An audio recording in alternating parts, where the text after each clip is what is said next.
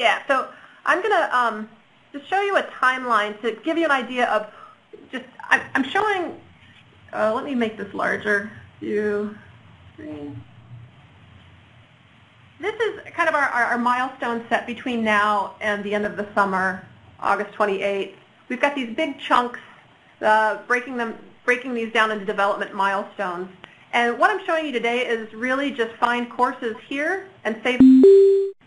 I just want to highlight that as we're looking at find courses, one way to find a course is I have an idea of exactly which course I need, or I just want to sort of peruse or, or browse by keyword, or I just want to look at all English 100 level courses. That's what we're showing you here. What we're currently working on, but I don't really have this ready to demo because we're, we're in the midst of it right now, the idea of I want to take this I, I want to major in biology, so then what courses would I need to take? That's going to come later. So I, I just wanted to give you that context so you're thinking, oh wow, they've, they've just simplified find courses to just the keywords.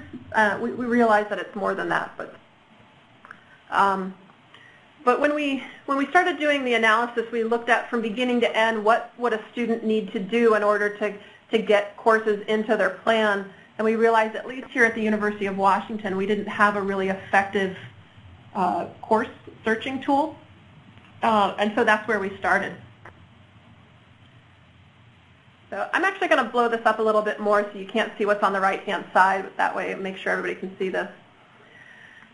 Uh, what we have here at the University of Washington is we have three campuses, so we wanted to allow students, if they knew which campus they were focused on, to go ahead and search for that immediately, but this could be, be changed for other universities. And then um, this drop-down would dynamically uh, update, and I say would, we don't have that connection in yet, but essentially whenever a time schedule or sections are actually offered, uh, then we would show that quarter information. Um, I think right now, for example, our summer 2012 time schedule isn't really available, but this is just kind of a, a demo to show you.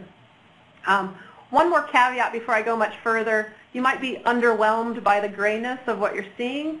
This is uh, developed pretty light as far as visual design. We're waiting on KRAD for some, some changes, and once that comes through, then we'll have our uh, fabulous user experience designer uh, start working on the, the visual design on this. Um, so anyway, uh, if I wanted to go in and, and have a look at all English classes, and I, I'm an, let's say I'm an English major, and I know that ENGL is the, the course prefix, I can go ahead and, and search for English courses. Um, this right now, none of the cache is set up, so the performance is a little bit slow. But when we do have the cache, it's pretty good performance. So I've got a return of English courses, and over on the left-hand side, I'm able to then narrow these down. Um, and let's say I just need one more course for next quarter. That is, that is, you know, four to five credits. That's about what I need. If I only took three, I'm not going to be a full-time student, and I don't want to do that. So I've got my four or five credits, and I'm looking for next quarter, so I'm going to pick things that are scheduled for spring 2012. And so now I've got about 91 courses, and that's quite a few. So I might start looking through here. Realize, you know, it'd be really nice at the University of Washington, we have these general education requirements that students live and die by, at least the undergraduate students do. And so perhaps I might select one of those requirements that I can go ahead through and, and, and pick a course. Um, Shakespeare, you can, cannot get enough of Shakespeare. I'll go in here and just look at this course. This course details page is really going to serve as the center pivot place where we're going to display any course-related information. If you want to find out about more about that course, here's where you go. Um, and we found that it was important to highlight where are we pulling this information from. We found that our students are pretty savvy in knowing things that come from the course catalog can only be trusted so much. But if it's coming from the time schedule, I might be able to, to you know, there's a little bit more trust in the information that's coming from that. Um, so a student might come in here and then see that, that course and decide to either save it or flag it. We're still working through some of those labels, um, or actually add it to their plan.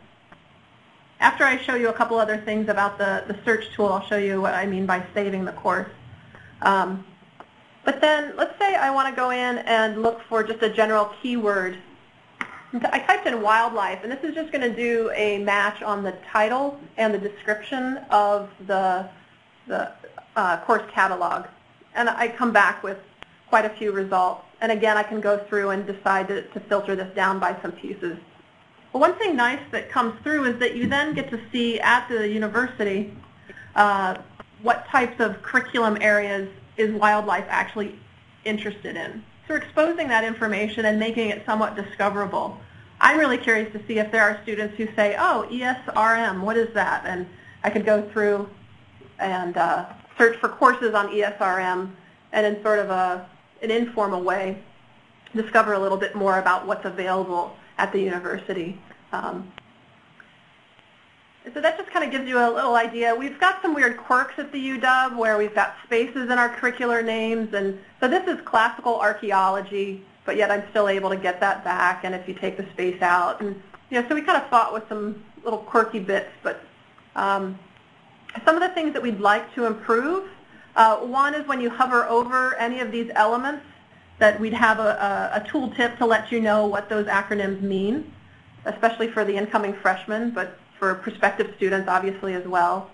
Um, another piece is that if I type in classical uh, archaeology, that I would get back uh, CLAR courses that we have that translation. I don't know. Those are both um, listed as enhancements, and we'll see how quickly we can actually add those two pieces. Um, I think that's a pretty pretty good representation of what the, the course search tool does. Um, are there any questions before I show you the, the saved list? Okay. So then if I go through and I've got these um, various courses and I found one, um, Athenian topography I've just been dying to take, um, I'm going to add that to my watch list. I think we're going to abandon the phrase watch list, just so you know. We've kind of been language, but I've saved that over here, and essentially the intent there is that a student wants to watch it, wants to consider taking it at some point, but they aren't quite ready to add that to a specific quarter. Um, and I think that'll come in really handy as students are looking out a year, year and a half away, and they're, they're not sure that they can completely trust some of the information that they're getting from the catalog about what might be offered. And then what I'm showing you here is a, a full view of what might be on your watch list there's still more details to be added to this, but you can, here are some courses that you're considering taking, and, and then you can go ahead and add those to your plan. Um, currently, we're working on uh, developing, if you were to click on any of these items, you'd get a popover that would appear off to the left, and then you would see more information about that course on this same screen, and then the ability to add it to a quarter to just give them some more kind of a richer experience on this same screen without getting disoriented by going off to that other page.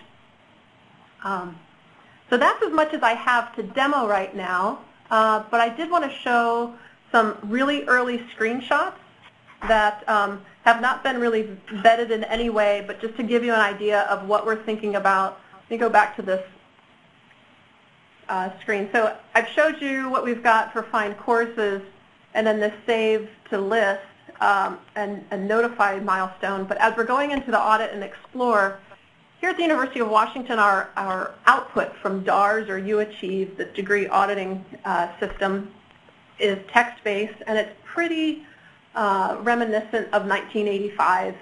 So we're, we're looking at both just the visual display on how can we make that easier to parse, um, but then also adding some functionality to that. So this can't be believed or, or expected to, this is probably not what's going to end up happening. This is barely our, our team has looked at it. Um, but it's the idea of if I go in here and I've got a, a, a BA, just to get some, some better feedback about where am I at, uh, this, the recommendations we know we all really wouldn't want to include there, and then I've got my detailed degree audit and I've got some, some requirements by section. I think the takeaway from this is that we're really going to be looking to allow students to expand and collapse different sections of their audit and allow them to emphasize or to really focus on the things that aren't completed. And based on things that aren't completed, what are some courses that I might want to take in order to, uh, to handle those. So again, I can't stress highly enough about how unvetted this wireframe is and how unlikely our end product will look like this, but just wanted to give you an idea of what we're up to. Um, I think that pretty much concludes, Carol, what I was planning on talking about, um, unless you want me to go through the milestones a little bit further about Yeah, I, I think that would be helpful so we have a sense of, of, you know, by the end of milestone five, what, what will be there. Which really it looks like milestone four is where you get into the actual, what we've been thinking of learning plan, which is mapping out courses in the calendar view.